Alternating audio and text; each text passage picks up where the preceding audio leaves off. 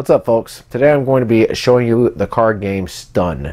This game came out from the IGI Corporation in 1986 and it is for 2 to 6 players. Another makers of Uno game folks.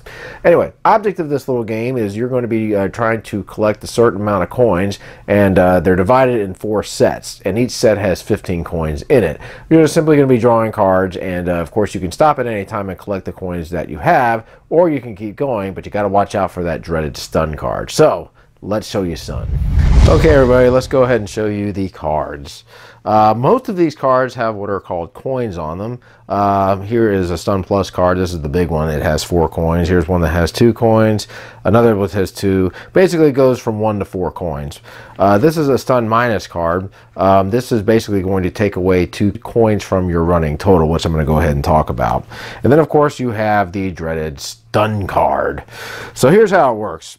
Uh, this is a press your luck type of a game, and what you're going to be doing is you're going to be uh, drawing cards, and um, you're going to have the choice as to whether you want to stop and then bank the coins that you uh, turned over, or you can keep going.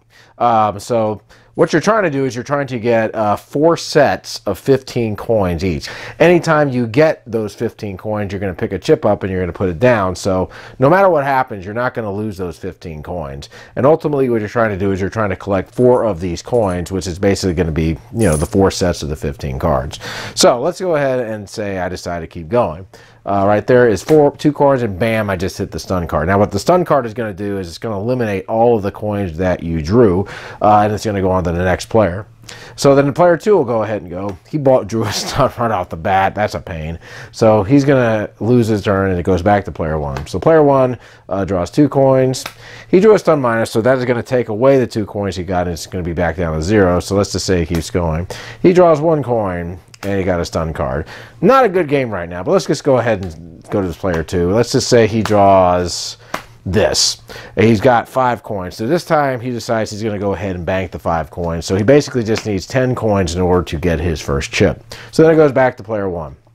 Player one has two chips, three chips, five chips. Let's say he goes one more time. Boom, stun.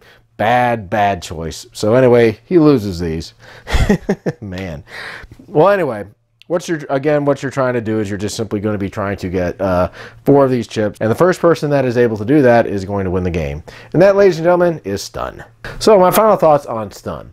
Okay, well, this is a simple game. This is probably more geared for kids than adults because it's a pressure luck game and it's very easy. Um, not too many rules with this game. Uh, I do enjoy playing this game. Um, fun game. Now, the times I have played this game with my wife, I have enjoyed it. Uh, that stun card can be a real pain in the butt though because you'll get so close to getting a set and you're you're wondering should I keep going or try to get the set and then when you end up going you end up getting the stun card and you end up having to get set back. So that's always fun to watch, but it is definitely not fun to go through.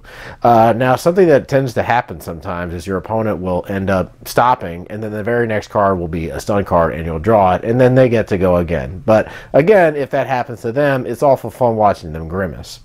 Um, the uh, this is a game that can kind of get away from you. I mean, if you end up getting those stun cards a lot, your opponent doesn't.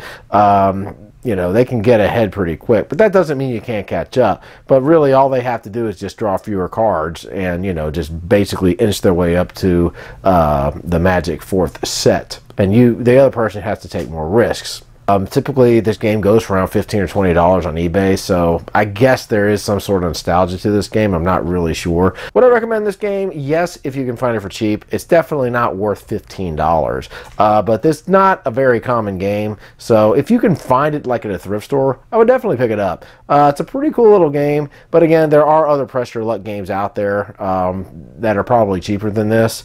Um, so really, if you're a collector of vintage games like me, then you probably might want to get it. But if you see it at a thrift store for like a dollar, yeah, I would go ahead and pick it up. But I wouldn't like spend 15 bucks on it. But anyway, guys, that's my review of Stun. I hope you all have a great day. Keep on gaming.